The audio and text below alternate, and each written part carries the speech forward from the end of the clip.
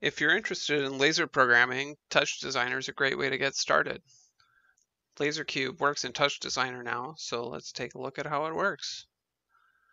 If you go to the Wicked Lasers GitHub, you'll find the Laser OS Touch Designer repository. You can go to the releases and download a zip bundle of the latest version. Or if you're familiar with Git, you can use it to check out the latest code. Let's do that.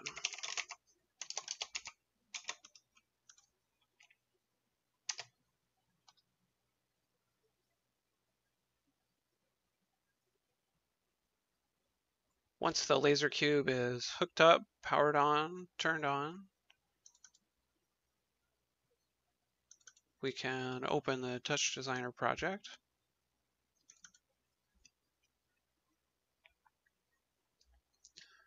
The first time a Touch Designer plugin tries to load, we'll see this security warning. Uh, these can potentially contain untrusted code, so it's good to know when you're loading something. Uh, once you accept the Laser OS driver, you won't see this again unless you upgrade or move it to a new location.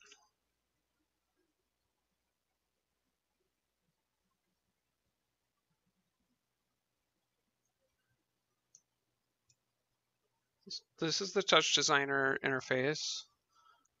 Uh, you can see the Laser OS chop selected down here.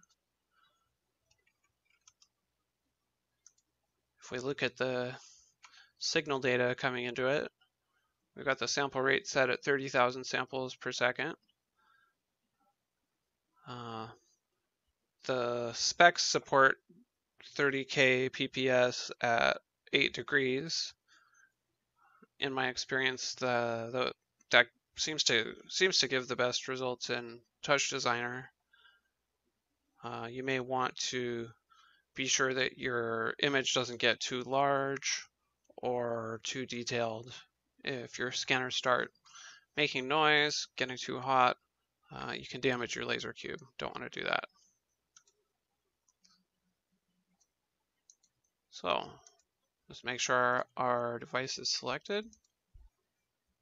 Hey, it works.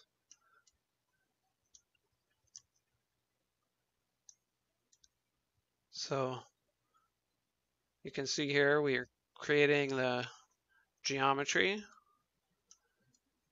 Here's a component that scans that geometry and turns it into laser signals.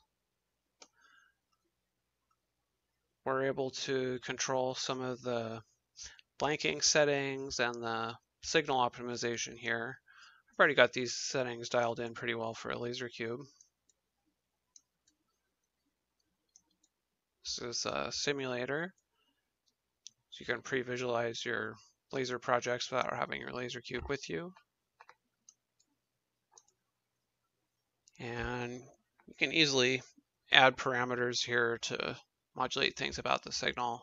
Uh, this will adjust on the x-axis.